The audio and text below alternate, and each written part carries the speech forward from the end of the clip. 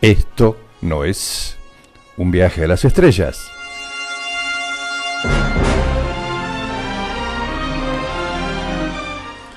Aquí comienza el grito del silencio.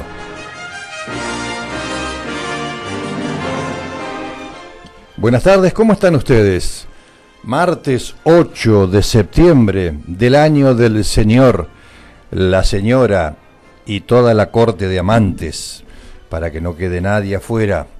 Somos amplios de mentes, hemos avanzado, nos hemos despabilado, estamos destapando las ollas de los siglos de los siglos con la represión que el sistema ha mantenido para que no hablemos de estos temas. Así que, amantes del mundo, uníos. Sometidos o liberados, jamás. Bueno, el viento suele traer estos chispoteos neuronales que me salen de vez en cuando pero eso de a mal tiempo, buena cara, vale, vale. Iniciamos esta jornada de hoy ventosa con declaración de emergencia, emergencia volátil, emergencia climática en algunos lugares por el viento, en algunos lugares eh, lluvia, Bariloche, por ejemplo, creo que amaneció nevada, se resiste, ¿no? La última nieve de primavera. Bueno, recordemos que una vez hace unos años, en noviembre, una nevada de aquellas, que fue brava, me acuerdo. En los controles está mi compañera de trabajo, quien es la encargada y responsable de la música, y de que nosotros salgamos con nitidez y claridad a mi carril. Quien te habla, Tony Miglianelli. Vamos a estar hasta las 16 en esta propuesta de periodismo social no partidario, no propagandístico, donde podamos englobar la causa de la humanidad que es nuestra causa, para que estemos un cachito mejor, ¿sí? tampoco el mesianismo. Ese es un gravísimo error de que uno dice vamos a arreglar la educación, vamos a arreglar la salud. No, arreglemos un cachito lo que podamos nosotros, seamos mejor nosotros. A propósito, un cariñoso saludo a las maestras y a profesoras de, no sé si acá en Río Negro también, ¿hay jornada hoy, Ami, acá no? de Neuquén que están embolándose, como lo hacen siempre con las jornadas, y hay quienes trabajan en el nivel, por ejemplo, inicial y trabajan en media, tienen doble jornada, así que doblemente pelotudean y se aburren, así que un cariño para el embole globalizado hoy en las jornadas que han perdido totalmente el sentido y que solamente sirven para que, en fin, para aguantar. Y no hay peor cosa que aguantar. Por eso puse hoy en el título, en el Facebook, nivelamos para arriba o nivelamos para abajo. Pero eso lo voy a, lo voy a desmenuzar eh, después que haga las presentaciones formales del caso y decirte dónde estamos, qué queremos hacer de dónde venimos y para dónde vamos. Ya parece un poema esto, pero no, no es así. ¿Dónde estamos? Estamos en la mural. En la 91.1, la voz comunitaria. Nuestro estudio se llama Enrique Santos Discépolo. Pertenecemos a la Biblioteca Bernardino Rivadavia, acá en el centro de Chipoleti, en la provincia de Río Negro, en la Patagonia Argentina una Patagonia que al sur del río Colorado tiene serios problemas para algunos, para otros parece que no, porque acaban de otorgar una jubilación a los 50 años a los empleados que trabajan en el petróleo tras 25 años de servicio. Yo recuerdo que esa conquista la había tenido Río Negro en su momento con las maestras, con 25 años de servicio creo ya se podían jubilar, claro. Había maestras que se jubilaban a los 42, 43 años, 44 años y podían seguir trabajando de otra cosa. Es decir, bueno, fue todo desde un lugar un avance y desde, desde otro lugar toda una situación muy compleja.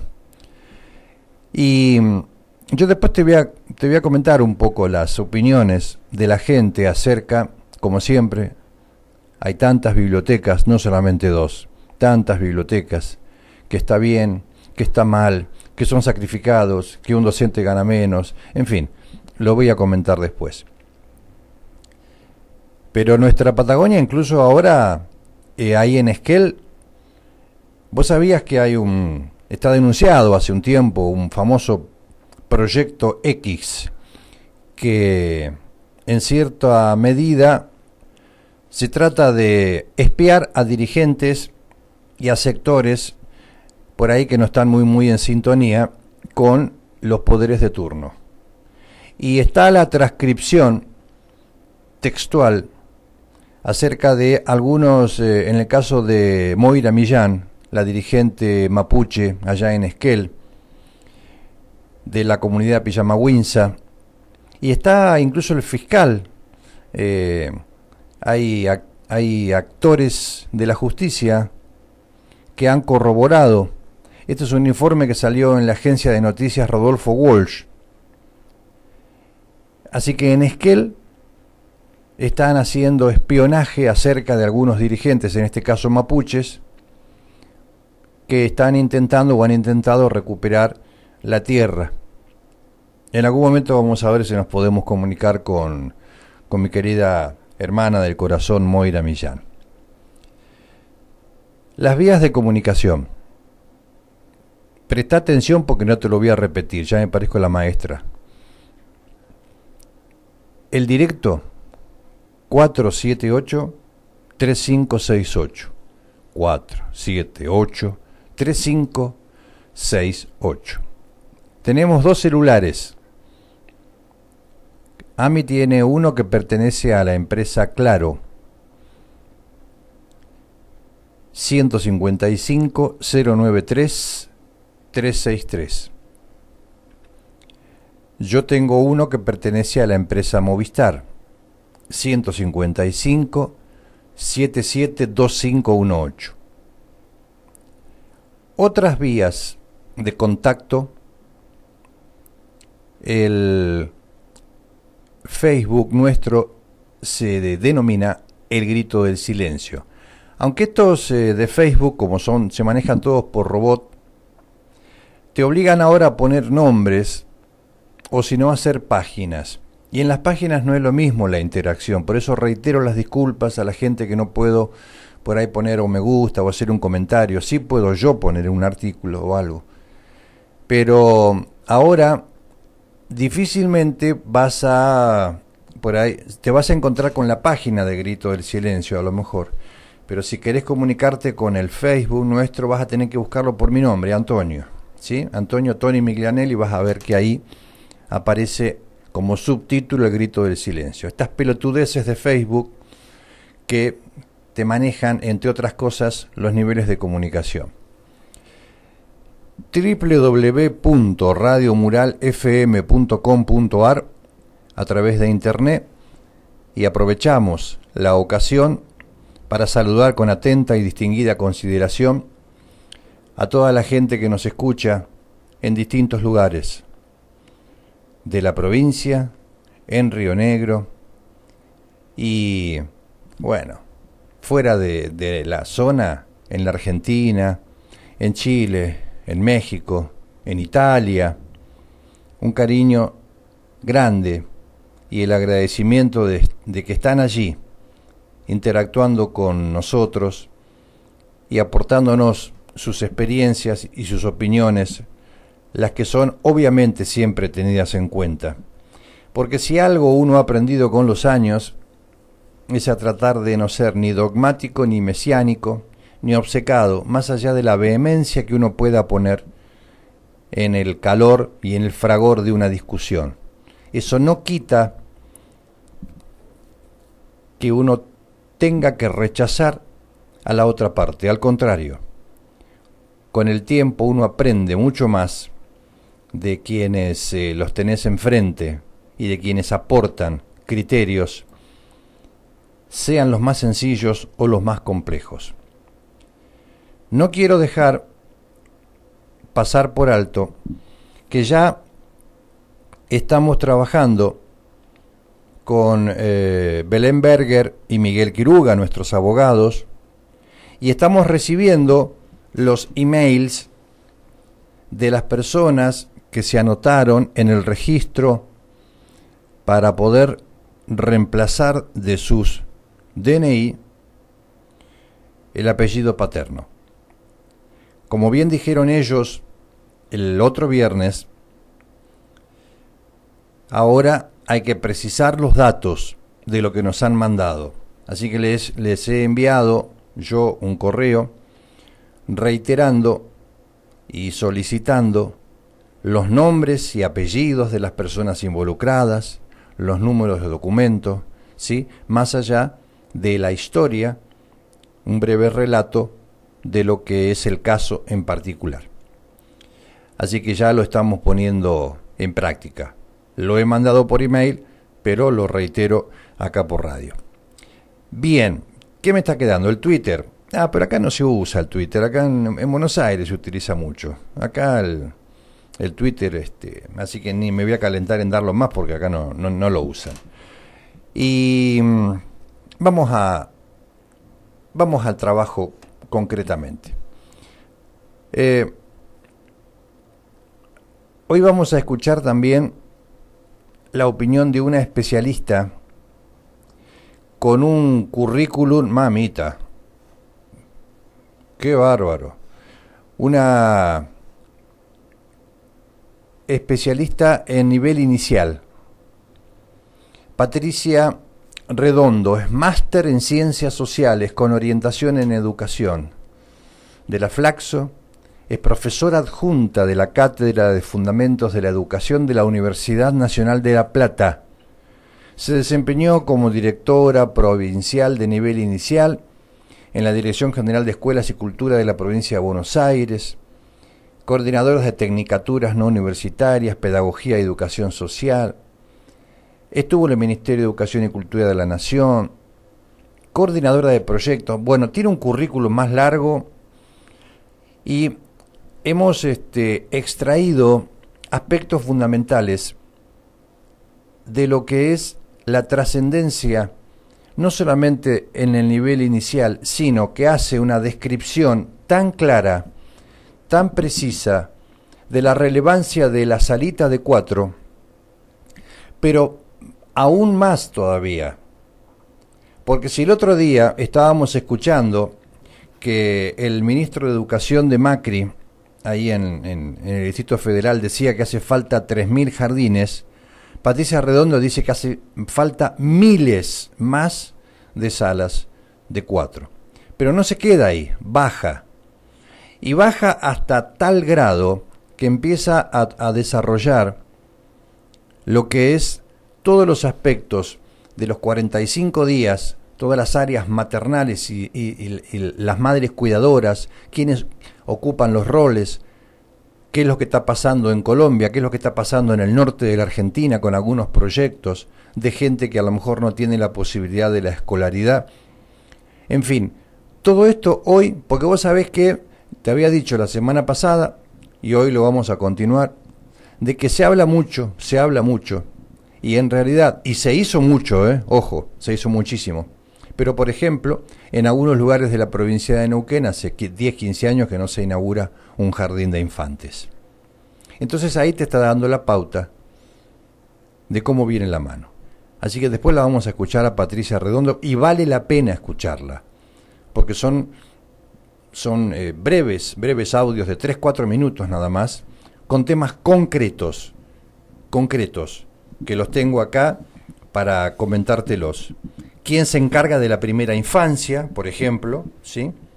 la especialización en temprana edad, que no cualquiera puede estar frente a una sala de cuatro hoy.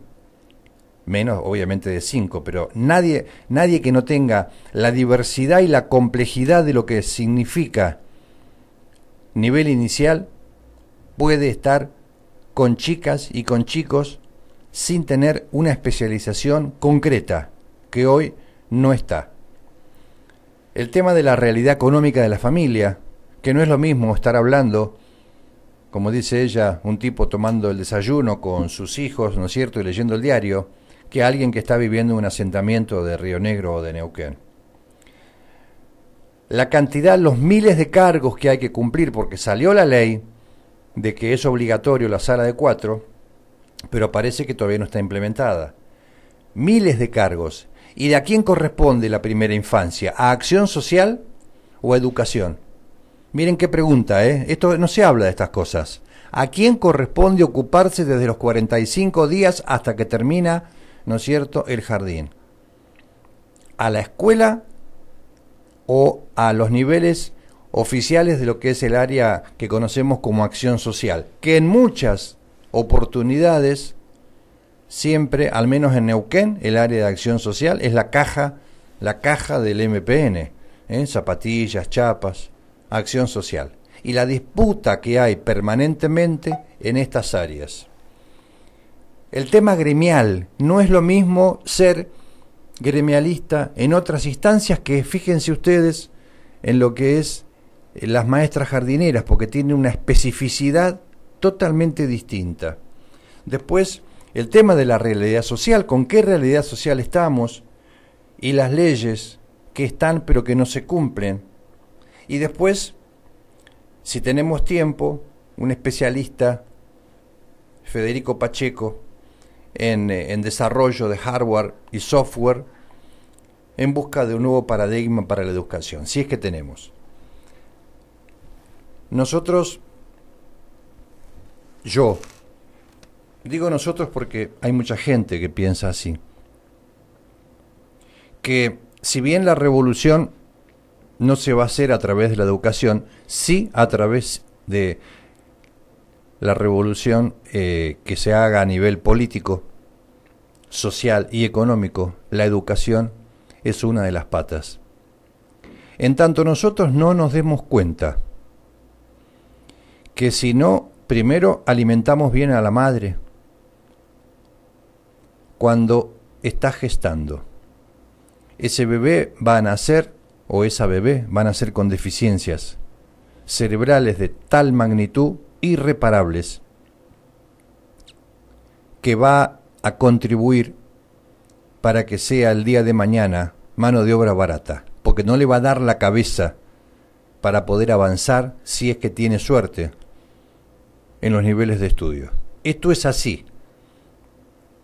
Como decía el doctor Albino, el primer año el cableado neuronal es clave. Y como dice Patricia Redondo, los primeros, el primero 16 meses de vida, primeros 16 meses de vida de una criatura va a determinar cómo va a ser su vida en el nivel medio. A ver, ¿escuchaste esto? Porque no nos hablan de estas cosas. No nos dicen la importancia. A ver, son discursos, sí, muy piola, ¿no es cierto? Pero en detalles. A lo mejor esto lo saben quienes están en estos niveles, que trabajan, ¿no es cierto?, en jardines de hace muchos años, que a lo mejor no lo han estudiado con detenimiento, pero sí la praxis les ha permitido llegar a esto. Pero estos avances, estos desarrollos últimos, en lo que es la conformación de la persona. Ya sabemos de que los primeros cuatro o cinco años son determinantes que van a pautar casi el 70% de la personalidad de toda la vida. Primeros cuatro o cinco años. Por eso que muchas veces cuando la nena o el nene llega a primer grado, segundo grado, y hasta jardín incluso. Vamos a suponer que no vayas. Hay gente que está sacando a los chicos de salita de cuatro, como todavía no es obligatorio, como todavía no se le agarra de las pestañas y le dice, che, mira, no puede dejar de faltar. Entonces por ahí los mandan directamente a sala de cinco. Y cuando llega a sala de cinco, ya la nena o el nene tiene casi gran parte de su matriz armada. Por eso cuesta tanto modificar. Porque vos en la escuela, en el jardín, lo tenés 3, 4 horas. Y, y las otras 23, perdón, las otras 20 están en la casa. Entonces, es importante que empecemos a debatir estos temas. Porque no solamente es algo como se decía siempre, no pensemos en el futuro. No, no, ¿qué futuro? Es hoy.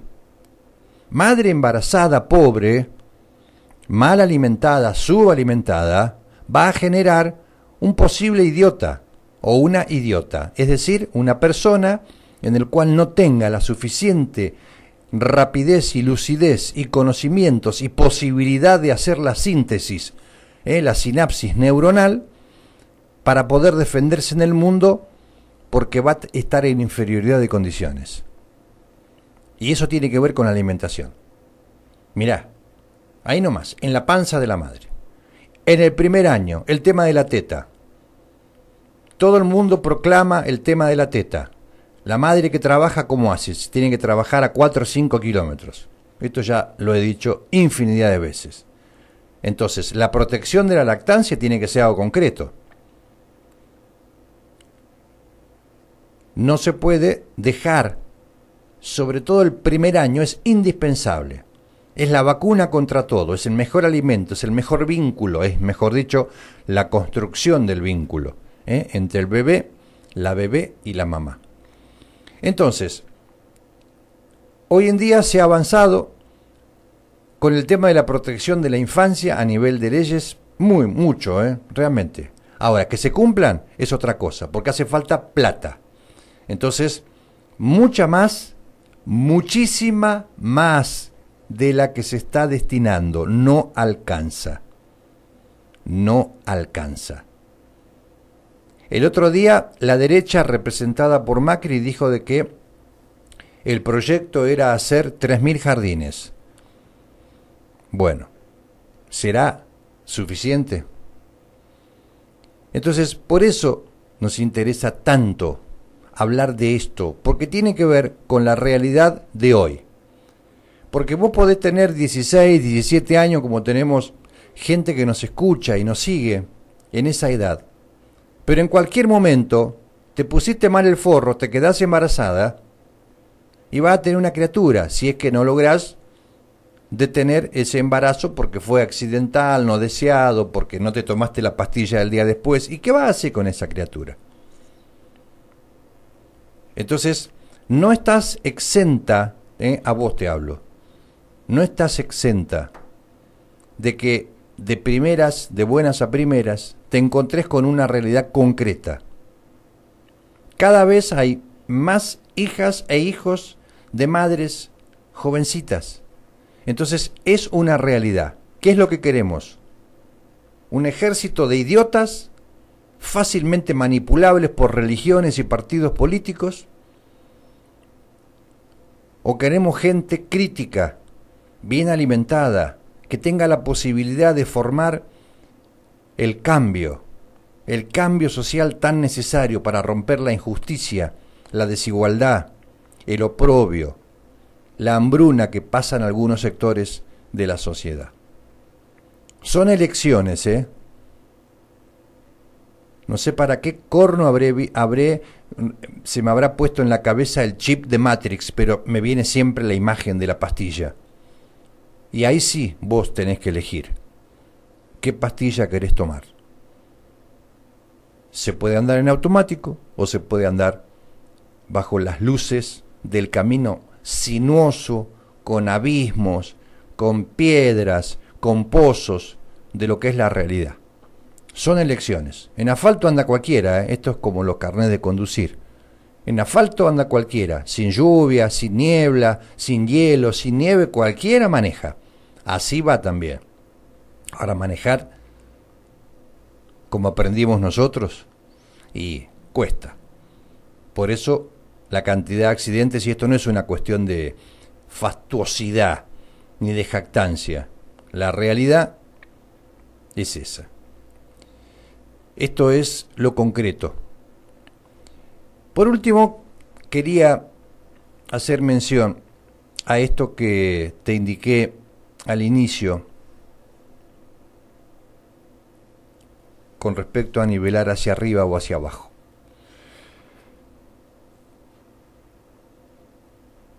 ¿Cómo queremos vivir? ¿Bajo qué encuadre? Porque a mí ya, yo tengo ya las tarlipes llenas cuando me dicen, no, pero antes también pasaba y eso, lo que pasa que no tenía tanta publicidad. ¿Sabes que no? Algunas cosas no. Algunas cosas pasaban antes que hoy no. Y otras no pasaban. Agarro el diario hace un rato, una piba que aparentemente la agarraron acá en Chipoletti, la tuvieron secuestrada cuatro días, apareció con el pelo cortado, vejada aparentemente, lastimada. Pensaban, el padre dice que había sido a lo mejor víctima de una red de trata de dominicanos. Miércoles, yo cada vez me entero, o yo vivo en un tupper, o todos los días me entero de algo nuevo. O sea que también yo sabía que hay prostitutas dominicanas, está lleno, en Rincón, en, este, en Añelo, en, en Catriel, pero no sabía que había una red de trata de dominicanos. No, resulta de que un pibe la agarró, aparentemente, según la información del diario, la tuvo ahí como secuestrada en una relación supuestamente que recién empezaba. Jóvenes, ¿no? 24, 25 años aparentemente el pibe. Digo, eh, yo no tengo registro de que esto pasaba antes. Vos me podrás decir que el patriarcado estaba mucho más exacerbado, los moldes y los patrones de, conducta eh, de los tipos hacia las mujeres, sí, pero había algunas cosas que me parece que no pasaban. Esta era una de esas. Digo, ¿en qué sociedad queremos vivir? Porque cada vez hay tipos más chapita, ¿viste? El otro día secuestraron a un, este, no sé, ahí en Rosario, no sé bien cómo vendrá la mano, pero entre la amante y la madre de la amante le metieron como 64 puñaladas al tipo. Digo, crímenes hubo siempre. Crueldad, como ahora, no, y en esto me voy a, a anclar a lo que decía Alfredo Grande, ¿no? Este, que no solamente aumentó la violencia, sino la crueldad. En este sentido, cuando yo hago la pregunta, que lo charlamos con Luisa Kremer hace un tiempo, ¿dónde poner la vara?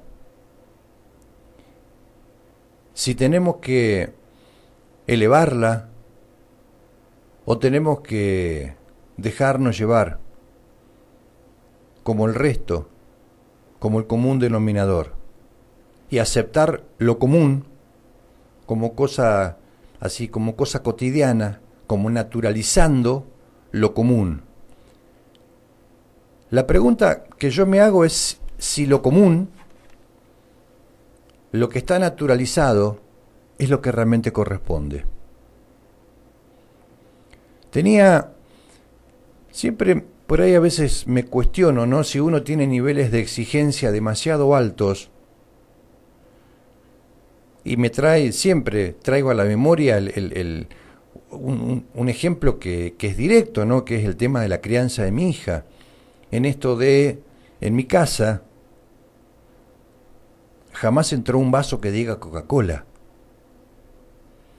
Ni siquiera cuando te lo regalaban en un kiosco que vos comprabas algo, venía con una promoción de regalo, no. De comer lo que había, de no dejar nada en el plato porque había gente que no tiene para comer. Estoy recordando, digamos, el discurso, ¿no? De, de cuando de cuando era chica. Esto de de no consumir basura por televisión, de poner límites en cuanto a qué ver en la televisión. A ver, no estamos hablando de, de hace 100 años, estamos hablando de hace 25 años Vos me podrás decir, bueno, pero en 25 años el tema de los celulares aparecieron, es cierto, el tema de las tablets, las computadoras, todo lo que vos quieras, sí. Pero hay ciertas cosas que por más que estén con todo el equipamiento alrededor, hay parámetros que uno fija o estableció creyendo que hacía lo correcto. No dejar que coma basura, que se alimente medianamente bien. No, no así con ostentación, pero medianamente bien. Evitando cosas raras. Entonces, muchas veces me he cuestionado, ¿eh? Y, y, en serio se los digo, me he cuestionado, sí. Es más, siempre la pregunta era, ¿qué pasa? ¿Crié un monstruo? Que a las 10 de la noche, diez y media, cuando iba al jardín o era chiquita, tenía que acostarse y no quedarse hasta la una de la mañana mirando televisión o dos de la mañana. Fabriqué un monstruo porque no la dejaba con los videojuegos. Me van a decir, no, lo que pasa es que los videojuegos ahora agudizan la mente, es fantástico, sí. Hay cada uno que solamente trata de muerte, destrucción, saqueo, violencia. Y sabes qué, durante mucho tiempo a esto sentí culpa, ¿eh? Yo la hacía leer yo a la noche, casi una hora, libritos, los libros del Quirquincho, libros sanos, hasta que con el tiempo, cuando me cansé de que me dijeran, bueno, pero los chicos no son así, hoy, me cansé, y me di cuenta que realmente lo común es eso, la ausencia de controles, la ausencia de límites, y que yo estaba en lo correcto. Porque si de algo estoy orgulloso en mi vida es de la hija que tengo. Creo que, más allá de que esto lo puede decir cualquier padre, los hombres del mundo quisieran tener la hija que tengo yo. Entonces, cuando hablamos de, de, nivelar para arriba o de nivelar para abajo, aceptar el común, aceptar lo cotidiano, lo que es normal. Muchas veces, eh, pero acá, con AMI nomás, no déjame acá en la esquina, pero si no me cuesta nada hacer una cuadra más, o te espero, ¿qué tienen que hacer? No bajo eh, acá al cajero, te espero, después te llevo. Digo, esas son cosas para mí normales y cotidianas desviarme cinco, seis cuadras, diez cuadras, o saber que el otro a lo mejor tiene que ir a pata. Si el esfuerzo lo hace el auto, no yo. Digo, eso para mí es la nivelación hacia arriba, que tiene que ver con ser solidarios, con ayudarnos, con, con darnos una mano. Y si hay complejidad económica, ponerse de acuerdo, un grupo, si tienen que ir a laburar a determinado sitio. Bueno, che, entre todos, o sea, sacrificamos 15 minutos de sueño, salimos un rato antes, pero te paso a buscar, así no te haces 4 o 5 kilómetros a pata. Digo, eso es lo común hoy en día. No, precisamente no hacerlo. El común denominador es no ser solidarios no preocuparte de que la persona que está al lado, a lo mejor con una pequeña, un pequeño gesto de tu parte, vos lográs tantas cosas, pero sobre todo compartir con el resto de quienes te rodean gestos que, que son necesarios para la vida, no se puede nivelar hacia abajo, al menos yo lo veo así. Y durante, insisto, durante muchos años sentí culpa cuando decía que criaste un monstruo. Entonces ahora sabes cuál es mi cuál es mi discurso. Mira, yo no bajo la vara, como decía Luisa Cremen del otro día, que la suban ustedes. Yo no pienso bajar un centímetro la vara, es más, cada día la voy a elevar más y más. Cada día voy a ser más exigente, porque uno está cansado de la mediocridad, de la insolidaridad, del que no se preocupa por el resto, ni siquiera cuando hay vínculos afectivos o familiares. Gestos, gestos solidarios.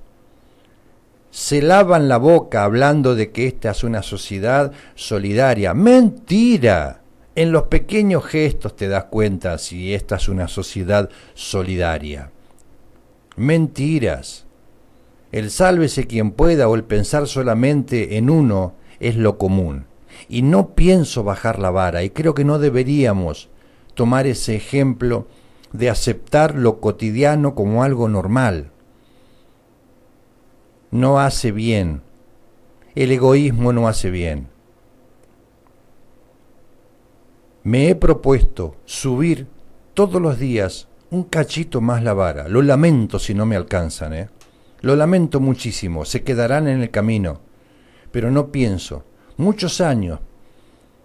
Muchos años ¿eh? de convivir con esto, este sentimiento, ¿viste? De que uno es un bicho de otro, de otro campo. De alguien que te plantea cosas que... ¿A dónde se ha visto eso? Pero sabes que a la larga uno se siente bien. Y no pienso que vos, en el fondo, sientas que estoy hablando pavadas. ¿Sabes qué? Todo lo contrario. Dentro de mí tengo la sensación de que vos pensás lo mismo, pero que estás tan anestesiada o anestesiado con esta con este orden dominante, con este sistema represivo, castrador, humillante, que es como que decís, bueno, es lo que hay. Y es lo que hay, es la cultura represora, como dice Alfredo Grande. Vamos a hacer un alto, como siempre. Vamos a preparar nuestro mate, amargo. Primer cebada de hierba rosamonte. Vamos a descansar la garganta, que nos viene otra vez a traer mal desde hace unas horas. Y luego de la música o... Ah, también tenemos un poco de humor de Peter Capusotto, así que podemos divertirnos un poco. Luego de eso, vamos a abocarnos. A ver, ¿qué hiciste, Sais, con las tierras? Devolve las tierras, Sais. 25.000 hectáreas, ¿eh? Es un vuelto eso. Y eso no es nada.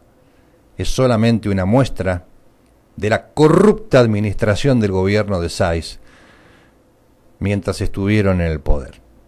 Ya volvemos. Acá en el grito del silencio por la mural, la 91.1, la voz comunitaria de Chipoletti. Bueno, vos viste que el gobierno anterior se ha caracterizado fundamentalmente por altos niveles de corrupción, ¿no? Estamos hablando a la gobernación de SAIS.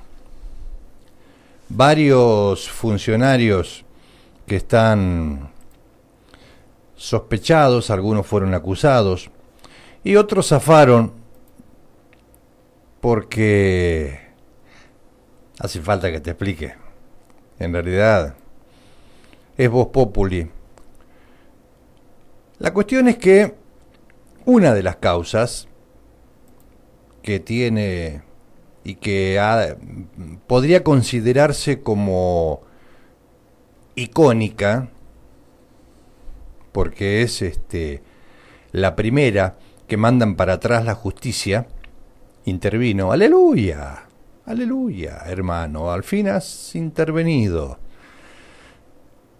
tiene que ver con que se anuló anularon la venta a un privado, dice el diario, de 25.000 hectáreas de tierras fiscales ubicadas en la meseta de Somuncura.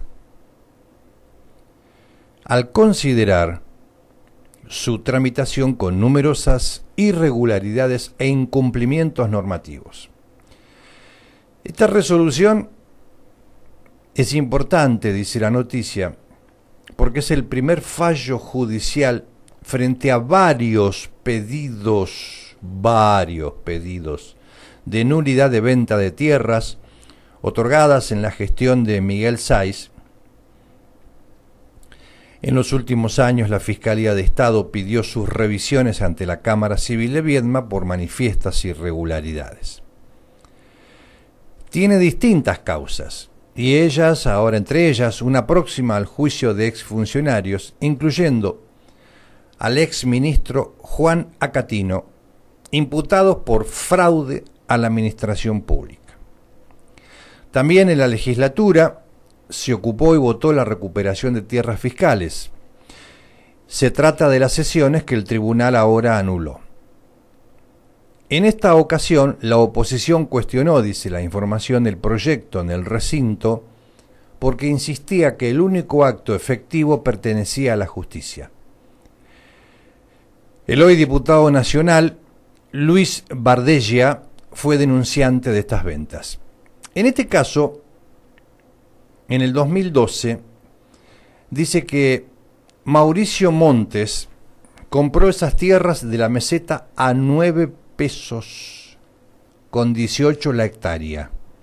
Recién cuando preparaba el mate le preguntaba a mí si, si podíamos terminar antes del programa, así salíamos para allá y comprábamos unas hectáreas, porque a 9 mangos deme dos, dos docenas y que había conformado una sociedad con Nicolás Van Dittmar. ¿Te suena Nicolás Van Dittmar? Es el administrador de eh, Joe Lewis. ¿Te acordás? El de la pista ahí en las grutas, el del bolsón, el del lago escondido. Bueno, 25.000 hectáreas. O sea que uno bien puede sospechar de que este señor Mauricio Montes a lo mejor es un testaferro de Joey Lewis. Lewis, perdón, Joey Lewis era el boxeador. En la resolución del tribunal integrado por Ariel Gallinger, Luján Ignasi y Sandra Filipuzzi, ah, la jueza Sandra Filipuzzi, dispuso la nulidad de los actos administrativos de tierras por los cuales se escrituraron tres predios, tres predios a montes, totalizando 24.000 648 hectáreas. Bueno, esto es una muestra de lo que viene ahora.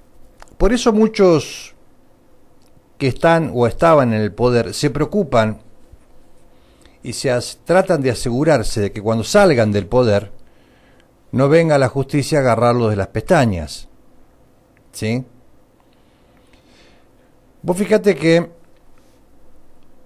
este es el inicio de una sucesión, si es que la justicia va a actuar correctamente, de fraudes y de ilícitos cometidos durante la gestión de Miguel Sáiz.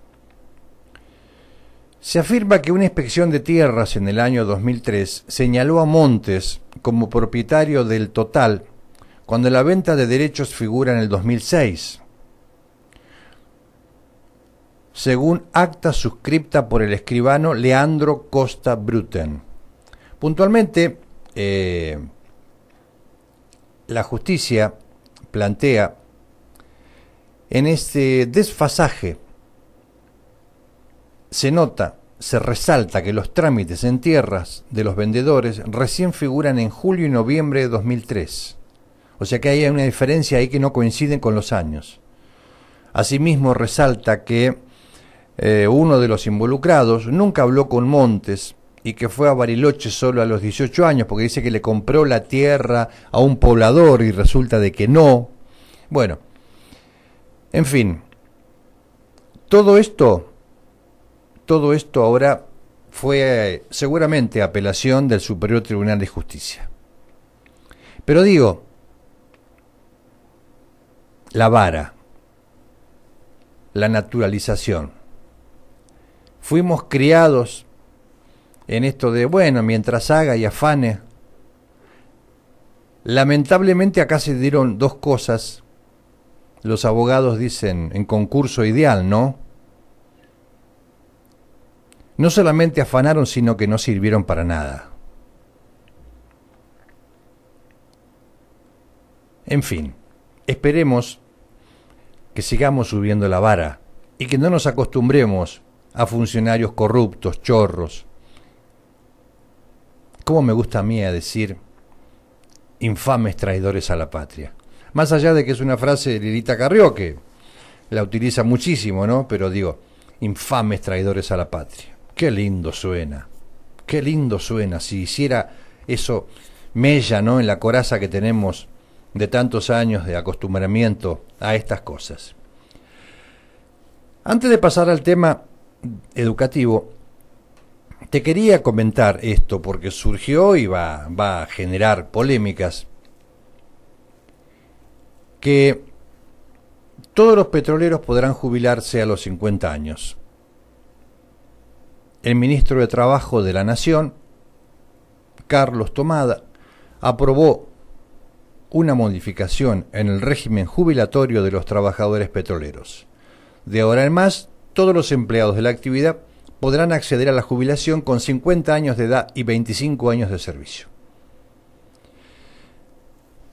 Generó, obviamente, esto es uno de los logros, dice la información más importante en materia sindical de los últimos tiempos. Imagínate si antes lo amaban a Pereira, los empleados petroleros a partir de ahora le hacen seis monumentos. Eh,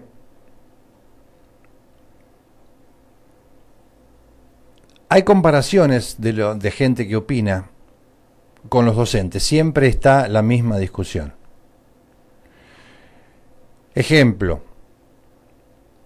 Dice, hacen comparaciones. Ellos en la provincia se jubilan a los 52 años, las mujeres y los 55 a los hombres. Si los petroleros tienen su propia caja de jubilaciones, entonces ¿dónde está el problema? Los docentes suelen conseguir lo que quieren en términos salariales y cada gremio pelea por lo suyo. Y no se pueden comparar capacitaciones, la educación está muy mal y no se pueden achacar a todo el sistema, la pobreza y el medio familiar al que pertenecen los alumnos, como alguien dijo en ese foro de opinión. A ver, las responsabilidades son distintas, obviamente, porque se plantea por un lado el enorme sacrificio, ¿sí? Eh, trabajan, dice, 15 por 15, algunos sí, otros no. Pero para los petroleros, dice Gabriel Flores, de la Universidad del Comahue, no hay invierno ni verano, no hay frío ni calor, no hay noches ni días, y por si fuera poco, vi por aquel entonces, dice, en la época de IPF vieja, petroleros que se divorciaban a los dos meses de jubilarse, porque jamás habían convivido con su mujer y no se conocían.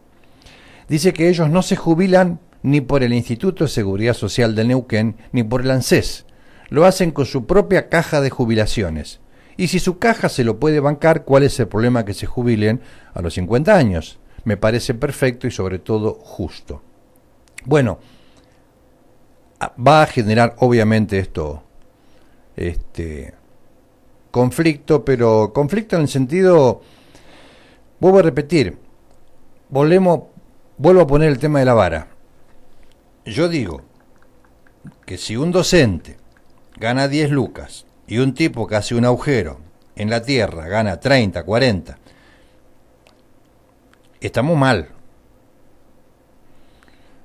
No estoy diciendo de que con esto que estaba explicando acá este hombre, las penurias que pasan, todo lo que vos quieras.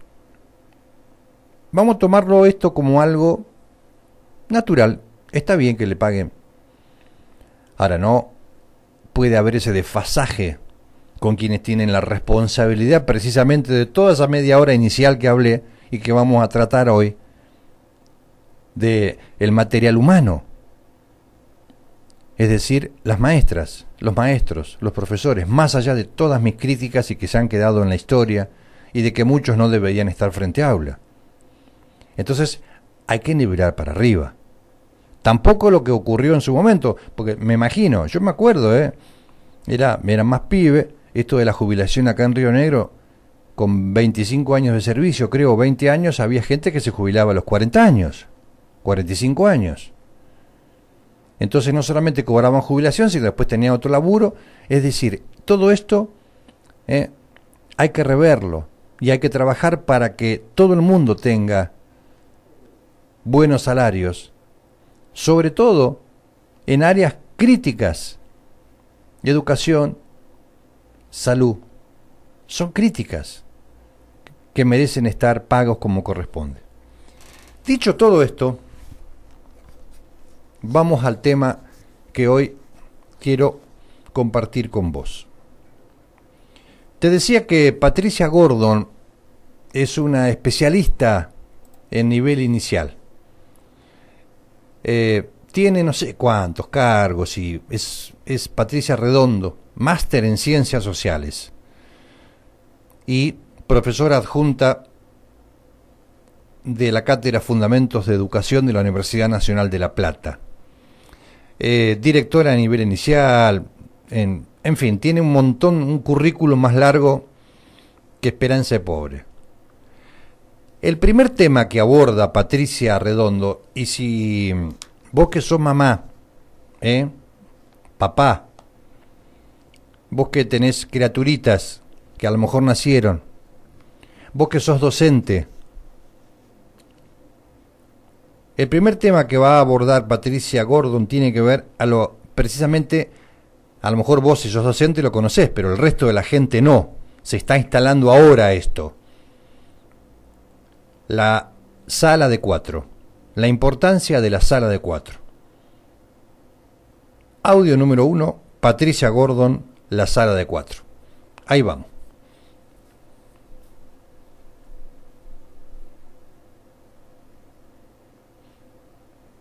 Argentino garantice la creación de miles de salas, que es lo que está por delante, de salas de cuatro años en todo el territorio nacional, donde un niño de Jujuy, en La Quiaca, a un niño en la frontera con Chile, tenga que ser atendido en, términos educativos, es un avance que en, la perspectiva de la educación argentina eh, va a tener efectos a largo plazo muy significativos. ¿Por qué digo efectos a largo plazo?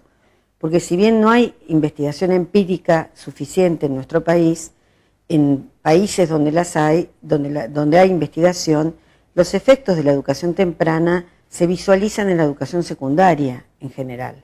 No se visualizan de manera inmediata en la educación primaria, sino que se visualizan en las cortes largas de los trayectos escolares. Las diferencias de los puntos de partida, si un niño hizo educación inicial o no tuvo oportunidades tempranas de acceso a una educación sistemática, son efectos, diferencias que producen una brecha en términos de desigualdad educativa muy importante que se visualiza a lo largo del tiempo. Por lo cual, eh, avanzar en términos de obligatoriedad para el Estado respecto de las garantías de ofrecer educación desde los cuatro años es un enorme avance en nuestro país. Estos son los logros que se han, ¿no es cierto?, que se han obtenido. Yo que dije Patricia Redondo, Patricia Gordon, Patricia Redondo. Ahora, ahora se, me hizo, se me hizo un lapsus. Ya lo voy a aclarar. Eh, la importancia de la sala de cuatro. Un detalle que dijo. De acuerdo al nivel de cómo las niñas y los niños tengan esta sala, va a ser su rendimiento y su actividad el día de mañana en la escuela secundaria. Mira vos, qué importante. Segundo audio. ¿Quién se encarga de la primera infancia? Es esta discusión. Si acción social, es decir, el área específica que tienen los gobiernos, o deben ser las áreas vinculadas con las escuelas y los jardines. Escucha. Hay un nudo problemático que está hoy en plena discusión, que es quiénes son los formadores de la primera infancia. Si son las madres cuidadoras o las mujeres que de manera precaria muchas veces atienden a los niños en sus casas, cuestión que por ejemplo sucede en muchos de los países, por ejemplo en Colombia, entre otros, o si es el sistema educativo con instituciones formalizadas con personal idóneo o recursos, sobre todo con recursos económicos y financieros, que ofrece instituciones educativas donde los niños son alojados. Este es un tema complejo porque en momentos de mucha crisis en los países latinoamericanos, como es también el caso argentino, fueron justamente las educadoras comunitarias las que pusieron sus cuerpos y sus esfuerzos para estar allí donde el Estado no llegaba. Para dar un ejemplo, en provincia de Buenos Aires hay más de mil jardines comunitarios que atienden más de 100.000 niños, donde el Estado no llegó a tiempo, por ejemplo, en la crisis del 2000-2001. Por lo cual no es un tema sencillo de resolver quién atiende a los niños pequeños en términos educativos. La cuestión es que si en las zonas más pobres la atención es más precaria, esos niños con certeza tienen menos oportunidades educativas y las prácticas son más bien de carácter asistencial. Esta es Patricia Redondo. ¿Quién se encarga? Porque esta disputa entre educación y áreas del Poder Ejecutivo es histórica. Pero ella instala, instala un tema que hasta ahora nunca lo habíamos escuchado, al menos yo, que desde los 45 días tiene que ser educación quien cobija, protege, ampara y va acompañando al crecimiento de las niñitas y de los niñitos. ¿Sí? Bueno, un saludo, Laurita, gracias por compartir unos mates amargos conmigo. Vamos a la pausa y luego continuamos. 91.1 Eran ellos los únicos. ¿Ves? Hay cosas que, que no cambian. Vamos a, vamos a escuchar ahora a Patricia Redondo en algo que también, también es, eh, es novedoso, al menos para mí. Insisto, 20, 30 años trabajando con maestras, pero eh, instala temas y conceptos que para mí, para mí al menos, ¿sí? Son novedosos. Y en el audio 3, Patricia habla sobre la especialización en temprana edad. Una especialización, o sea, da a entender como que no cualquiera puede estar con las criaturas. Escucha a Patricia Redondo, por favor. Es complejo resolver porque la educación inicial requiere de una inversión estatal muy significativa por la cantidad de niños respecto a cada docente que requiere el nivel inicial, que es, por ejemplo, en, la educación maternal, es un maestro cada seis bebés en las primeras salas. Si primero un tema de cobertura y expansión. Segundo, yo situaría un tema de la formación de los docentes y de los educadores y educadoras que están a cargo de los niños. Es decir, a diferencia de lo que se, se supone y se, se, ubica en el sentido común general, de lo único, digamos, atender a niños pequeños requiere de una formación multidisciplinar y cada vez más compleja, porque las transformaciones de la época, las modificaciones en el cambio del estatuto de la infancia, las transformaciones de los grupos familiares, las transformaciones en las cuestiones de género, los cambios en las concepciones de las teorías del aprendizaje, requieren un maestro con una formación muy de una excelencia muy alta. Y sin embargo, todo postula que con el amor a los niños es suficiente. Si uno mira a otros países, justamente se trata de poner los mejores recursos en los primeros años, porque es donde los niños adquieren el lenguaje, es donde los niños desarrollan el nivel de pensamiento, es donde los niños estructuran su personalidad. Es decir, que justamente en los primeros años es donde uno tendría que colocar a los mejores maestros, a los más formados, a los que tienen mayores recursos. Es allí donde uno tiene que repartir el lenguaje, repartir la cultura, con una desmesura pedagógica, diría Stanislao Antelo, sin ningún tipo de límites. Sin embargo, se, supone un maestro que canta tres canciones y hace un, hace un ruidito más o menos bien, alcanza para atender un niño de dos años cuando allí a los dos años, a los tres años, hay que presentarles el mundo, hay que presentarles los poetas, los pintores, los colores, hay que entregarles el mundo de una manera que es cada vez se sabe más que en los primeros 18 meses se define parte de lo que es la trayectoria escolar futura. Así que la clave de la formación es otro problema que en la Argentina se está abordando en términos eh, de las políticas públicas, pero es una deuda. Presentar al mundo y no con dos o tres canciones se piensan que se arregla esta instancia de estar con, con las criaturas de dos años, ¿no? Bien claro el concepto. Debo reconocer que algunos de estos párrafos me son conocidos en forma directa, por eh, vínculo directo, ¿no? Con una jardinera. Estos temas, algunos de estos temas, creo que los he, los he escuchado. Pero hagamos el parangón, aprovechemos ya que estamos en este día donde le dieron a los petroleros la jubilación a los 50 años tras 25 años de trabajo. Perdón. La, la opinión de la gente que está entroncada con educación. Hay un señor en el diario llamado José Abel Pírez González, que responde, entre otras cosas, en, opiniones online acerca de lo que eh, otras personas dicen el riesgo de trabajar en el petróleo, 15 días, la noche, el día, los divorcios, etcétera, etcétera. Bueno, ahora se agrega la droga, el alcohol. Este señor José Pírez González dice, cada trabajo tiene su dificultad.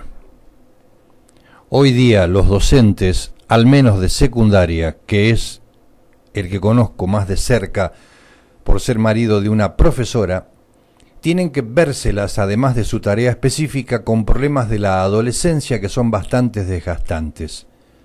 Droga, violencia, desamor, anorexia, etc. Para lo cual les agregan todos los días algún tema nuevo con el que tienen que lidiar. En cuanto a los riesgos del trabajo, no se puede comparar a un petrolero con los docentes.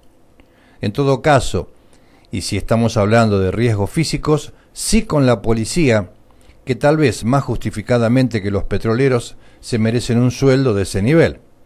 Si por ejemplo, si por ejemplo considero un despropósito los sueldos de la justicia, en particular de los jueces, que tienen una serie de prebendas, como el no pagar impuestos a las ganancias, y que no se condice con la marcha lenta de esas instituciones.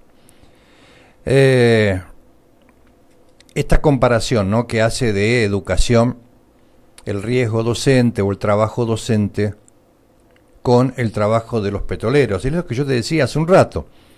O sea, está bien, no bajemos la vara, pero entonces si alguien que está 15 días en el campo haciendo un agujero gana 40 lucas, que un docente gane lo mismo.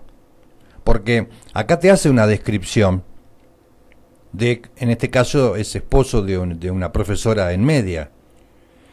Eh, yo estoy mirando con azorado que cada día, cada 24 o cada 48 horas en Cutalcó están matando un pibe o se matan entre ellos.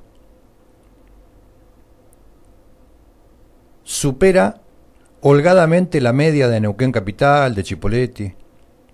Cada 24 o 48 horas están matando un pibe.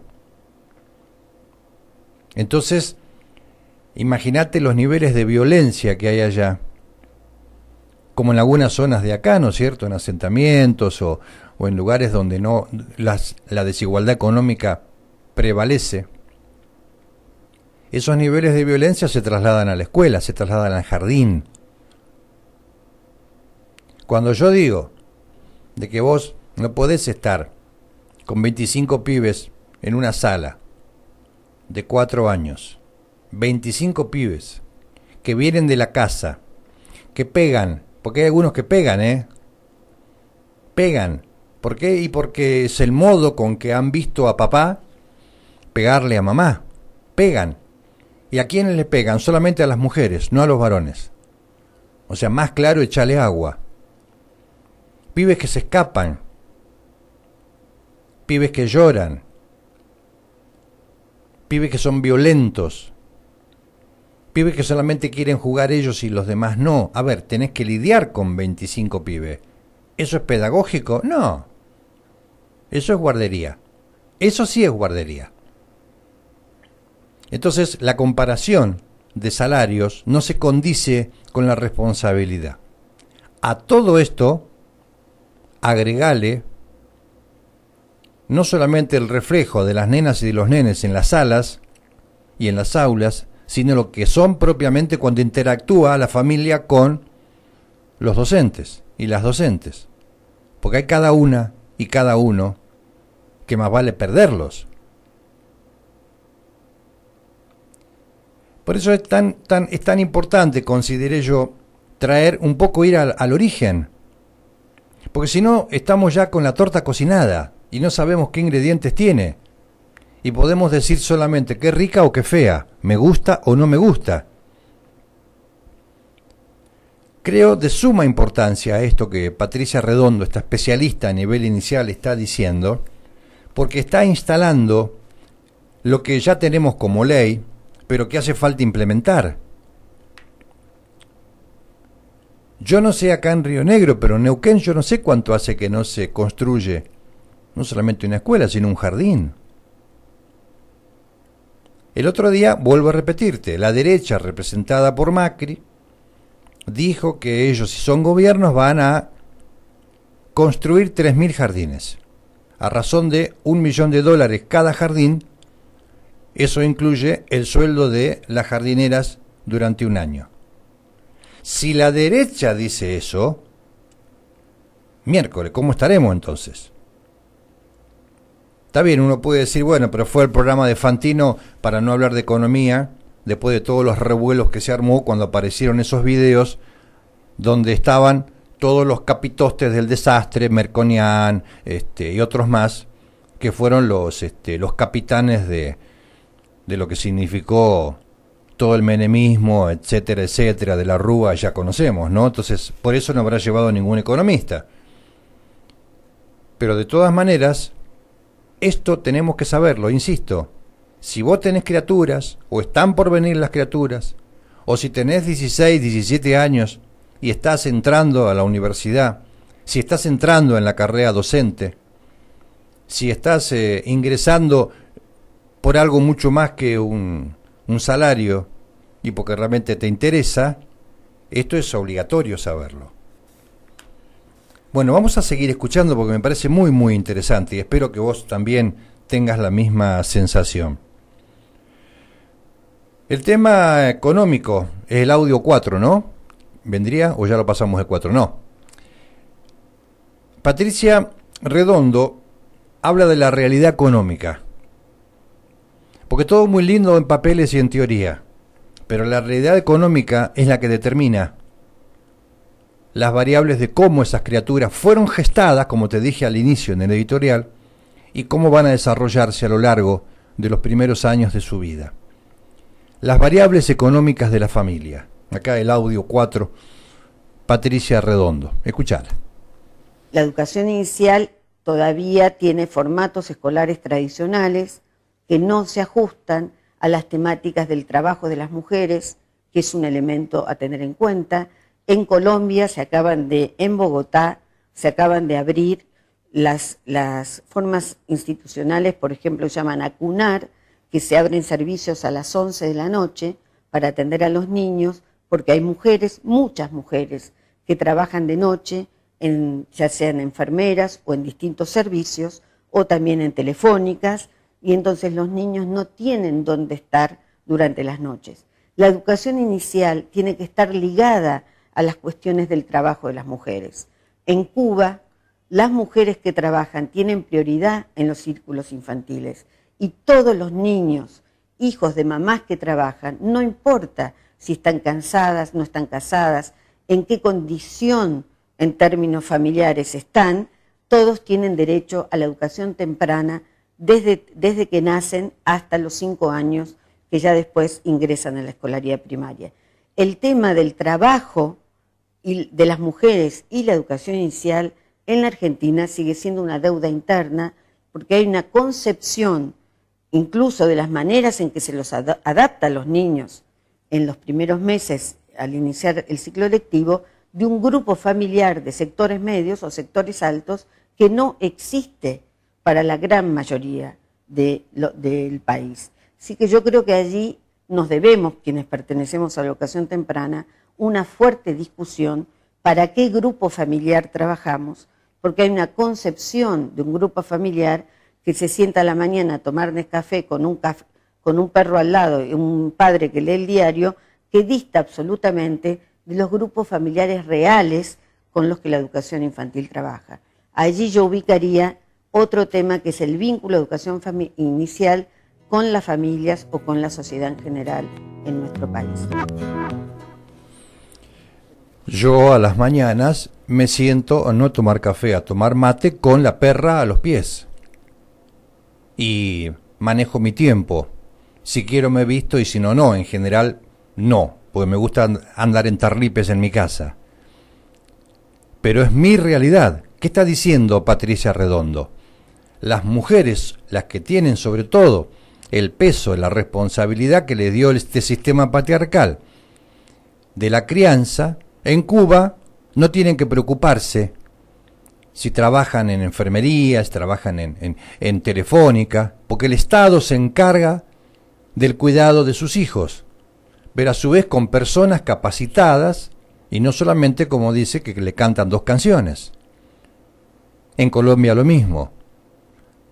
Entonces, la variable económica determina el nivel y la calidad no solamente de la persona que va a estar encargada de cuidar, que debería hacerlo, sino también de cómo se va a desenvolver esa criatura, en qué encuadre, bajo qué conceptos y bajo qué mundo. Si el mundo de, del, que, del tipo como yo, que puede sentarse a la mañana y manejar su tiempo con la perra a los pies y tomar mate, o sea, si lo va a mirar por televisión esa criatura, desde el asentamiento, desde la marginalidad, o va a estar en un plano de igualdad su familia, su madre o su padre o quien sea, pero en un plano de igualdad que puedan tener los mismos derechos que tengo yo.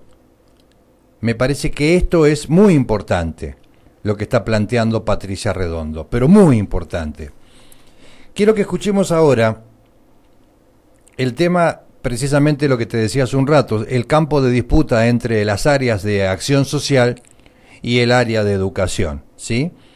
Y la necesidad, ¿eh? en el video, en, perdón, en el audio 5, la necesidad de crear miles de cargos.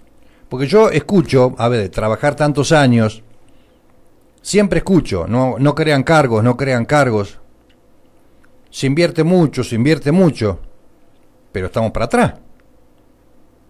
Es decir, que habría que pensar que no solamente no alcanza, sino que habría que profundizar cuál es la necesidad básica. Según los especialistas,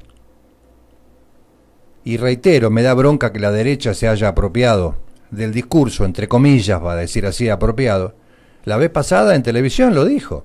Macri, ¿cuál es la importancia educativa jardín. Yo me quedé azorado. Pero todos los especialistas convergen en esta síntesis, el jardín. Miren, yo sin ser un ilustrado en el tema desde hace años, reitero, de trabajar con docentes, de capacitarlos, siempre sostuve que el jardín era determinante. El laburo de las jardineras determinante. Sin denostar, sin desmerecer, para nada, ¿eh? el resto de los niveles en las escuelas, de las maestras, de los profesores, nada que ver, pero digo que el jardín es clave. Y las jardineras, el trabajo, siempre, siempre lo consideré como fundamental, fundante, fundamental, ¿no es cierto? La palabra fundante. Entonces, ¿quién se ocupa de las niñas y de los niños? ¿Los políticos de turno o las instituciones educativas? Patricia Redondo habla sobre esto. El nivel inicial es un nivel que ha luchado muchísimo por su identidad, a diferencia de otros niveles, y por estar alojado sistemáticamente en alguna legislación, y esta obtención de que seamos una unidad pedagógica, que sea una unidad pedagógica, es fruto de, de eso. La ley de obligatoriedad eh, ubica eh, una responsabilidad del Estado y ubica una responsabilidad en términos de financiamiento. Yo creo que la, digamos, principal, la principal dificultad es eh, justamente poder concretar este esfuerzo financiero de resolver la creación de las salas de cuatro que faltan en muchísimas provincias. Eh, son miles de salas de cuatro que hay que crear y aprovechar este impulso, que sé que está la intención a nivel nacional de hacerlo, de poder desplazar las salas de nivel inicial de las escuelas primarias en aquellas provincias donde todavía las salas de cinco años están dentro de las escuelas primarias. Si se pudiese conjugar que al sumarse las salas de cuatro años se abriesen jardines de infantes independientes, allí el salto cualitativo sería enorme. Porque en la Argentina hay, conviven muchas modalidades institucionales de la educación temprana. En la provincia de Buenos Aires, históricamente los jardines de infantes son independientes de las escuelas primarias, es decir, tienen edificios propios, dirección propia y plantas funcionales propias. Entonces, si las salas de cuatro permiten acompañar un proceso de mayor institucionalización del nivel inicial y el financiamiento nacional permite consolidar las instituciones propias de la educación temprana, yo creo que allí está la posibilidad real de poder generar eh, un salto significativo en términos cualitativos. Yo creo que el desafío principal va a ser ese, porque las salas de cuatro implican, y eso se lo escuché a las autoridades educativas de Salta justamente, una son centenares de cargos nuevos, de puestos docentes nuevos. Y siempre el meollo financiero es ese, la cantidad de cargos docentes que va a significar la obligatoria de cuatro a lo largo y ancho del país. El riesgo que yo le veo, pero eso es parte de la dinámica siempre de las políticas públicas y que la democracia siempre implica tratar de profundizarlas, es que el sistema educativo se quede en la Argentina con las salas de 4 y 5 y que desarrollo social u otras instituciones se queden con la atención de 45 días hasta 4 años. Este ha sido siempre en nuestro país un escenario de disputa. Quienes estamos pensando en términos educativos a la primera infancia, consideramos que es educación quien tiene que eh, timonear el barco respecto de la atención del conjunto de la primera infancia, porque sabemos por experiencia, por conocer, yo ya tengo casi 40 años en, en educación temprana, he sido supervisora de zonas rurales, supervisora en el conurbano, directora, maestra rural también, uno sabe que allí en las zonas más complejas, si no está el Estado garantizando los derechos de los niños, las formas comunitarias, si, están a cargo de organizaciones sociales con cierto discurso dirigido a la infancia, muchas veces son formas de privatización de los derechos de los niños y donde allí circula mucho el maltrato infantil, que es muy difícil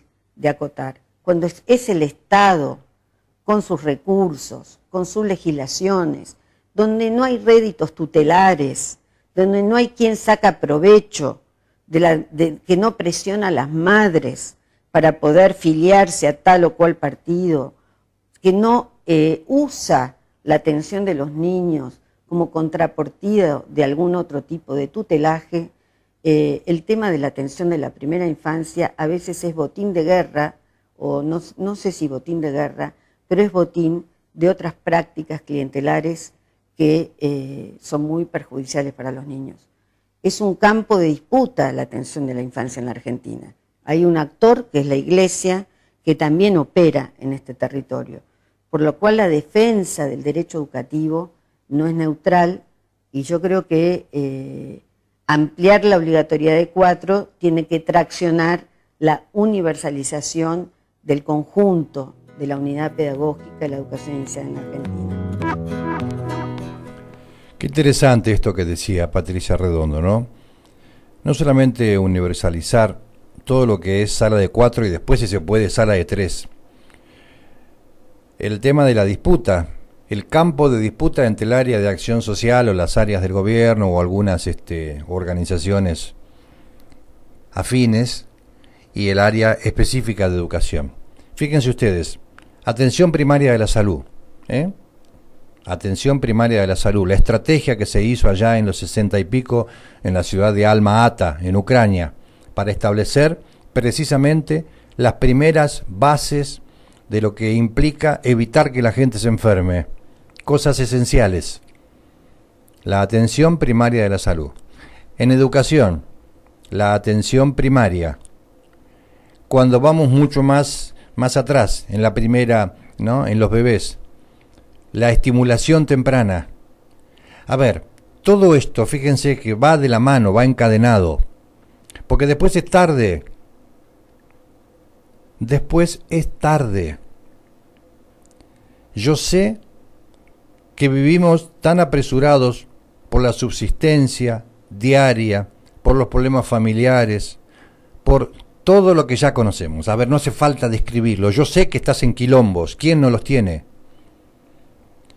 Lo que sí, tenemos que dar un salto cualitativo en el razonamiento y entender que mientras no comprendamos que esta situación, si la trasladamos en el tiempo, vamos a repetir el modelo, siempre vamos a estar a merced de iglesias, de políticos, de grupos económicos, porque necesitamos construir pensamiento crítico.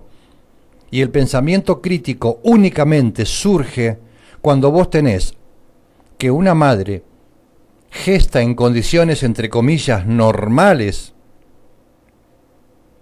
y luego ese bebé los primeros tiempos tiene la teta, la estimulación, la posibilidad económica, todo lo que implica desarrollarse.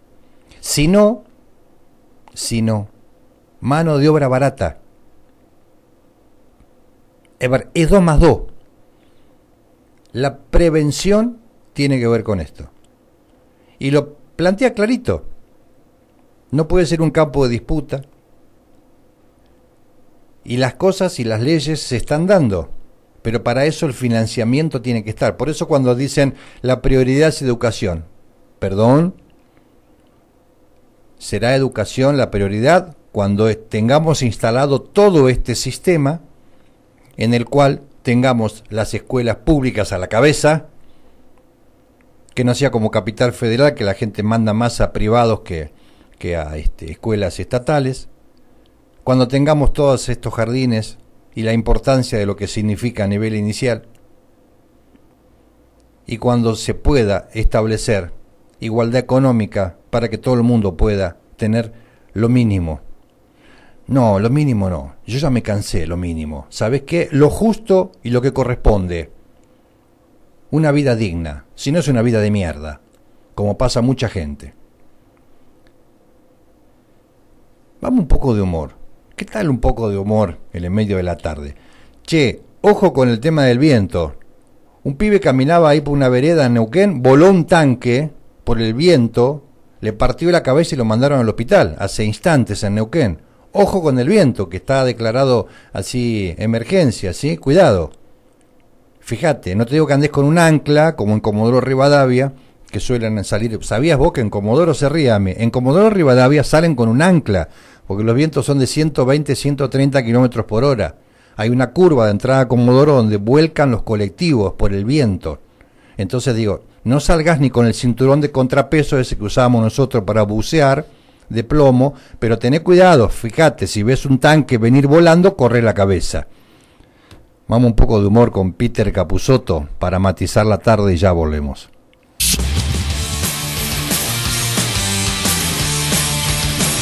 Disculpen que baje con el vasito, pero tengo un tema en la muela que me está molestando mucho. Ahora subimos y hablamos, ¿eh? Ahí está. Es un segundito, nada. No baja. ¡Dejen de hablar, frustradas argolludas! ¡A la puerta abierta! ¡Hay gente que quiere subir la putísima madre que las parió! Decime, ¿vos tenés esa cara de pelotudo siempre o nada más cuando viajas en el ascensor? Ya empezamos con esta mierda. Soy el pupu pulpo que te va a alcanzar. Soy el pupu pulpo que te va a agarrar. Soy el pupu. Más cantantes de mi época. Este era Nelson Biasuto. Con ese truco idiota hizo la canción del pulpo, la de la araña, la del escorpión. Idioteces como estas divertían a la juventud. Esta clase de subnormales era con los que yo tenía que tratar. Pero yo ya estaba creando el punk. Mientras estos imbéciles cantaban estas idioteces, yo empecé a meter un éxito atrás del otro. Escribí una canción para el Día de la Madre. El día de la madre.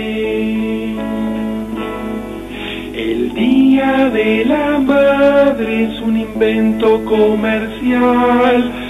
Vos me trajiste a este mundo de mierda. No hay nada que festejar. No hay nada que festejar. Y saqué otro hit para cantar en los cumpleaños. Que los cumplas muy feliz, que los cumplas muy feliz. Festejemos como pelotudos un año más cerca de morir. Festejemos como pelotudos un año más cerca de morir.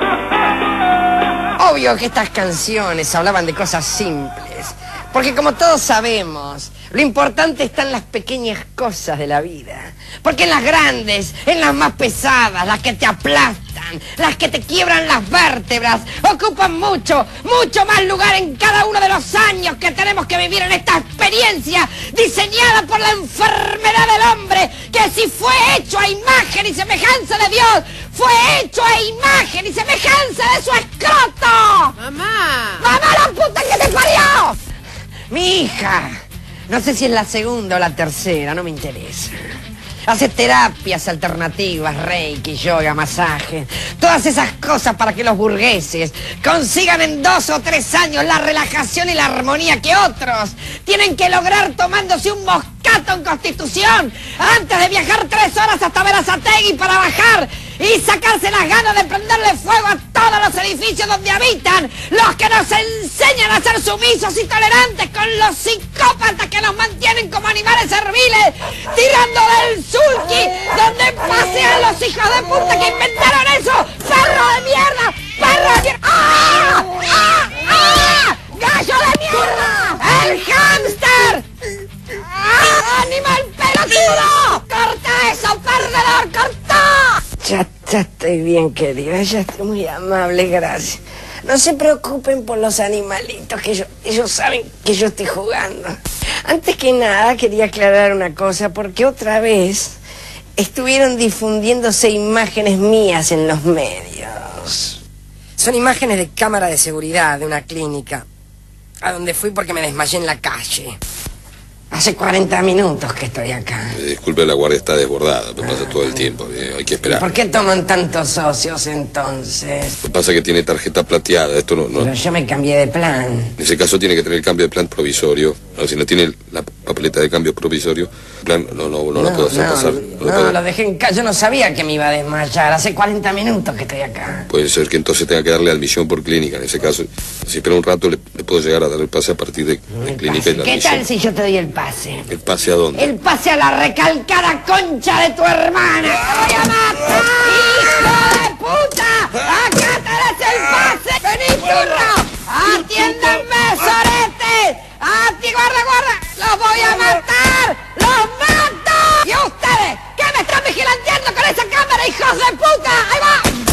Bueno, solo quería pedirles disculpas a todos los chicos del sanatorio Arismendi y de alguna manera dedicarles este tema, que fue el primer tema que realmente escandalizó a la teleplatea de aquella época. Hoy conocí a un chico que con muchas chicas sale. Lo tratan como un campeón por sus hazañas sexuales. Si una chica hace lo mismo y con muchos chicos goza, socialmente se la señala reventada y viciosa. Hoy mi vagina pide igualdad, con muchos hombres me quiero acostar. Hoy mi vagina pide libertad, como los hombres quiero el sexo gozar. Bueno, hubo mucho lío con los camarógrafos, era la primera vez que se veía una vagina por televisión, ¿no es cierto? Yo no quise hacer una escena de mal gusto. Lo único que quería era expresar mi deseo de libertad sexual, porque se reprime mucho al sexo. Se lo esconde, se lo esconde para que te des más ganas. Te lo muestran de a poco para que lo desees. Culo en tapa de revista culo para que mires un programa, culo para que compres tapas para empanadas y mostrándote todos esos culos inalcanzables. Te meten en la cabeza el deseo de tener lo que no tenés, desear lo que no necesitas y así tenerte colgado toda la vida de la teta de esa vaca puta de la que sale toda la bosta de esta sociedad de mierda. Pero mamá. ¡Cállate y la reputa que te parió! ¡Profesora de yoga! ¡Acá tengo la flor del loto! ¡Vení a ver si encuentras la paz interior! ¡Vení, pedile que cierre el ojo y diga ¡Om! ¡Om! ¡Y vos cortá! ¡Cortá, te digo! ¡Cortá! Bueno, por hoy es todo. Prefiero no despedirme, porque las despedidas entre los seres humanos me dan un poco de tristeza.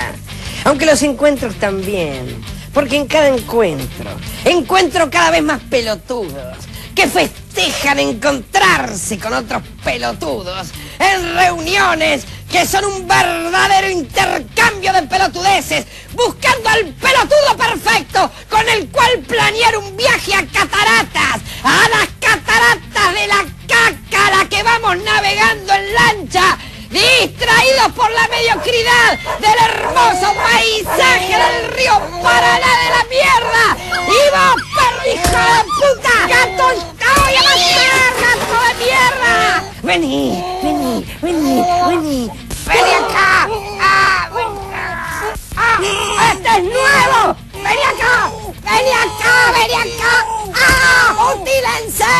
¡Débiles! ¡Desvanezcanse! ¡Aniquilen su futuro! La verdad es que no sé si decir, prosiguiendo con nuestra área educativa en el día de la fecha, desde una mirada absolutamente surrealista, o decir, ¿cuántas cosas dice Peter Capusotto bajo la faz del humor, ¿no? Del chiste? Confieso que no, por ahí a veces no, no nos imaginamos todo lo que dice de la manera como dice. En una época a lo mejor no se podría preocupar, pero viendo, viendo y escuchando lo que se ve solamente en la televisión, saben que me parece que el rol de violencia arriba que hace Capusoto es un poroto comparado con lo que hay por doquier, ¿sí? Vamos a continuar porque me parece que viene a cuento esto. Vos fíjate que en Neuquén ahora si no hay un, un paro docente hay un paro de, de auxiliares de servicio no sé acá en Río Negro, pero antes en Neuquén, cuando no estaban efectivizados en planta permanente, no se enfermaba nadie. Ahora, licencia de licencia de licencia. No con esto quiero generalizar, pero es, parecería, algo muy común. La cuestión es que esto, esta definición y esta frase los intereses supremos del niño, la Convención Internacional del Niño, los derechos del niño.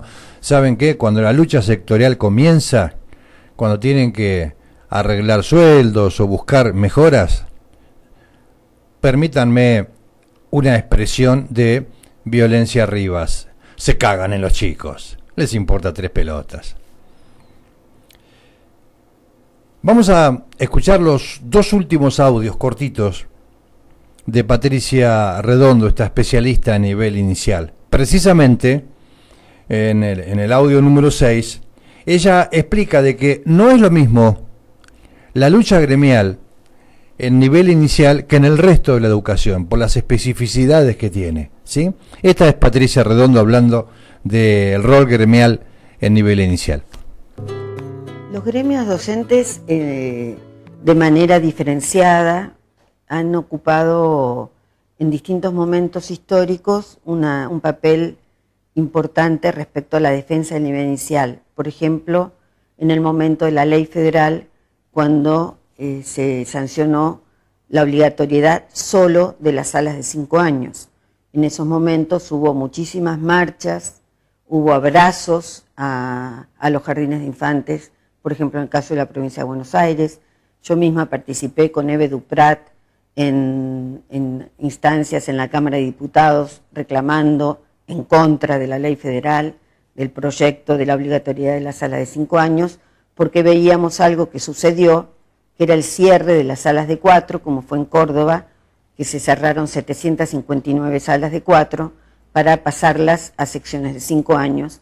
En muchas provincias sucedió que las secciones de cuatro y tres años se cerraron para cubrir las salas de cinco años. En determinados momentos, los gremios docentes, particularmente la CETERA, jugaron un papel preponderante en la defensa de la educación inicial. Al mismo tiempo hay que decir que no siempre las docentes de nivel inicial se agremian lo suficiente para defender sus derechos, ya que los puestos de trabajo del nivel inicial tienen características singulares, por ejemplo, una, maestra de nivel de educación maternal, su trabajo es una tarea con un desgaste físico muy significativo y tendrían reivindicaciones propias a defender, tendrían cierta particularidad a tener en cuenta en las luchas docentes y gremiales que no siempre son ejercidas como desde un lugar muy protagónica de los propios docentes de nivel inicial. Sin embargo, por ejemplo, en Bariloche están las, docentes de nivel inicial, tienen una cátedra de política sobre la primera infancia, participan en la defensa de los derechos de los niños del Alto, que hay muchos jardines de infantes en el Frutillar, bueno, en unas zonas muy afectadas por la pobreza, en el, es como el reverso del Bariloche turístico y tienen un desarrollo académico muy sistemático, eh, organizadas a través del gremio. Hay como una experiencia muy diferente a lo largo del país. UEPC, bueno, hay varios sindicatos que vienen desarrollando muchas tareas vinculadas a la educación temprana y a su vez hay otras instituciones como la OMEP y la UNADENI que no son gremios, pero que sí tienen una representación profesional eh, que vincula a las docentes del nivel inicial. Dice Patricia Redondo, la especificidad, ¿no es cierto? El desgaste de la tarea. Si bien la tarea docente es desgastante, mucho más lo es para aquellas personas que se metieron como salida laboral rápida. Imagínate estar trabajando de lo que no te gusta. Conozco maestras jardineras que no se bancan a los pibes. Imagínate laburando. Por eso te conté el otro día de que había en este en Cutalcó como 300, 400 jardineras que no quieren tomar cargo, salvo para preceptorías. Así que es desgastante, pero el jardín lo es más.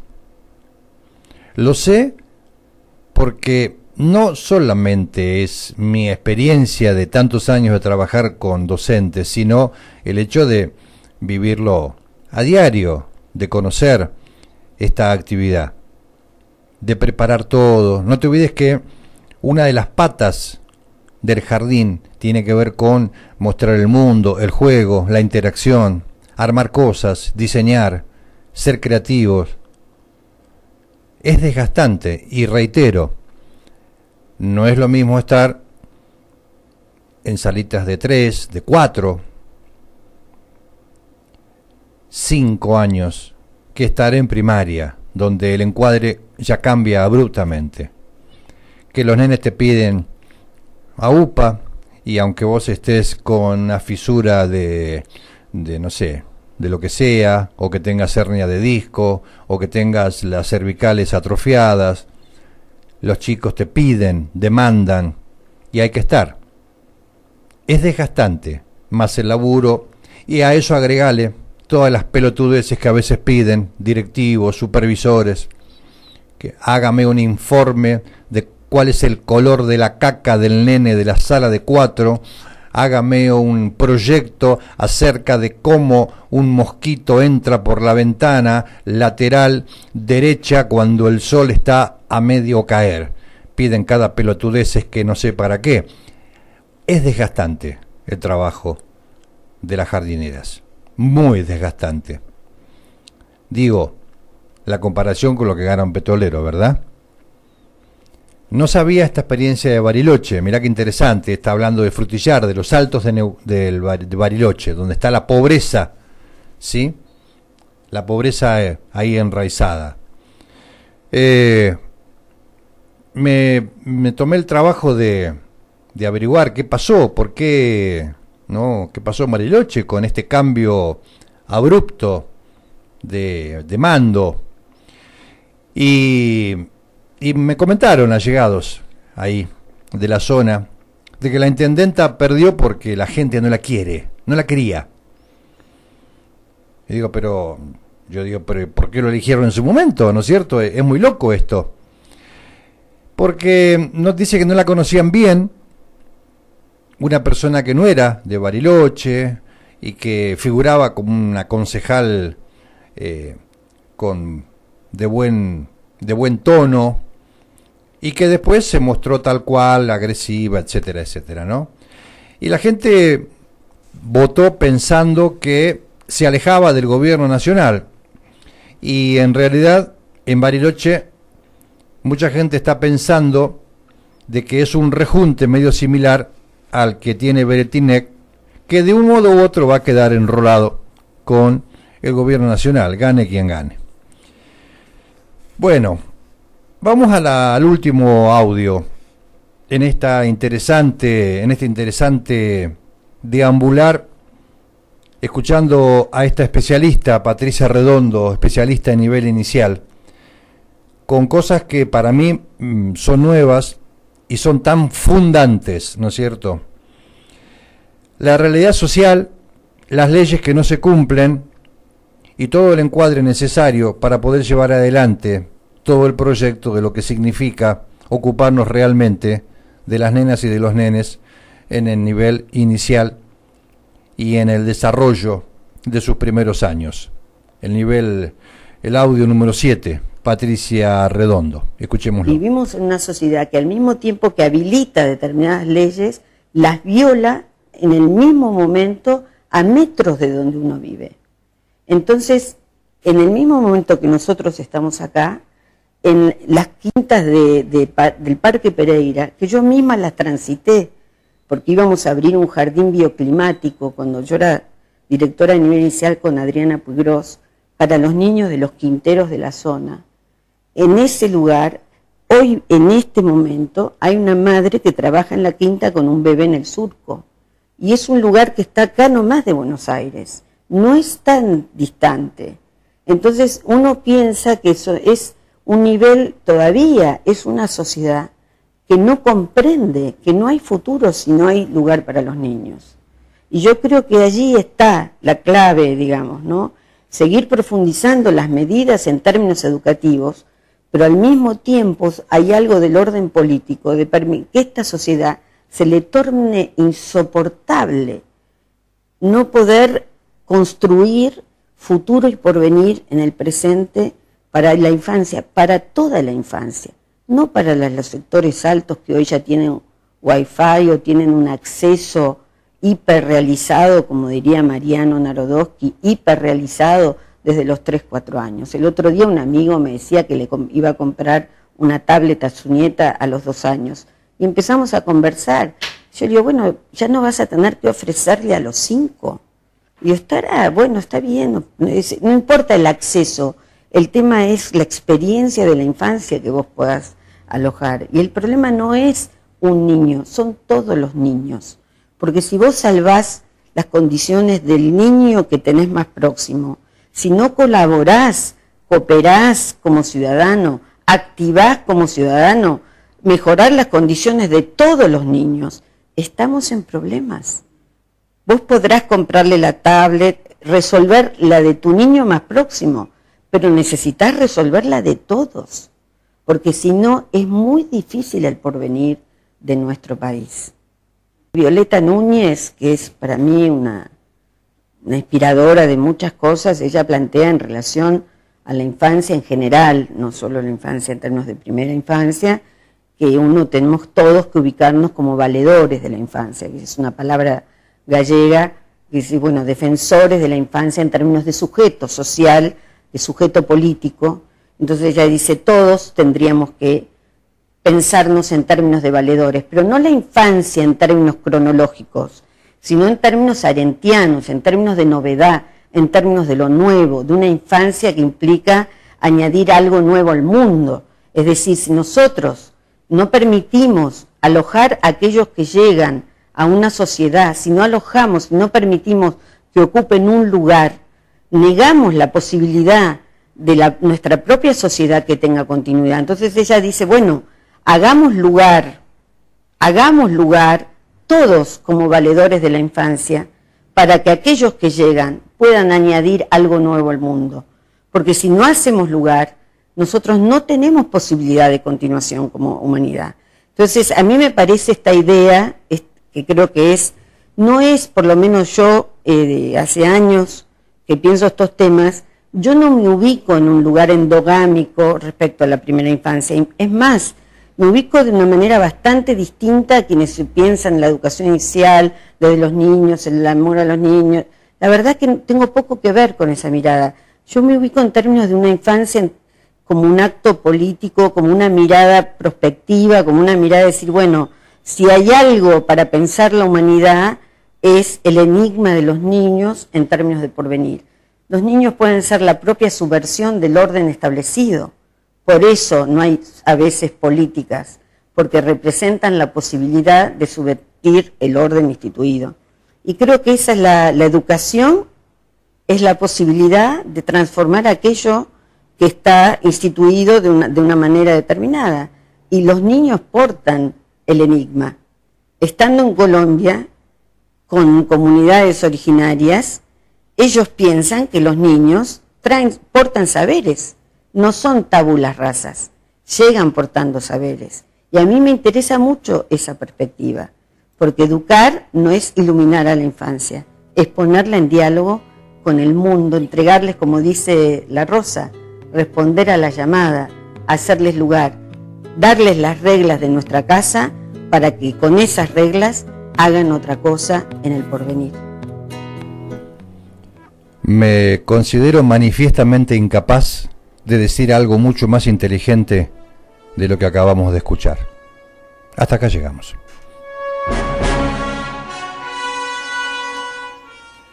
Esto no fue un viaje a las estrellas. Aquí culmina el grito del silencio. Volveremos mañana a partir de las 14, aquí por la mural, la 91.1, la voz comunitaria de Chipoletti. En los controles estuvo mi compañera de trabajo, Ami Carril. Quien te habla, Tony Miglianelli. Intentaremos volver a tirar un gancho para ver si podemos ir juntando voluntades que quieran subvertir la realidad, pensar que se puede vivir mejor, que hay desigualdades, que hay injusticia y que nos merecemos un mundo mejor. Vos ya sabes mi pensamiento, sabes que es mi postura, yo no te la impongo, tomala, dejala, tirala por la basura, es tu derecho, pero yo ejerzo el mío de creer de que hay una sola vida. Por eso, corre y decirle a quienes sentís afecto, que amás muchísimo, que querés mucho, y a los que le tenés bronca, mandaros al carajo, ¿sí? Está de caro el lanzopral, qué bárbaro, che, los remedios, qué caros que están, evitate una gastritis, ¿sí? Mandaros al carajo. Carpen diem, gente, vive el día, hasta mañana.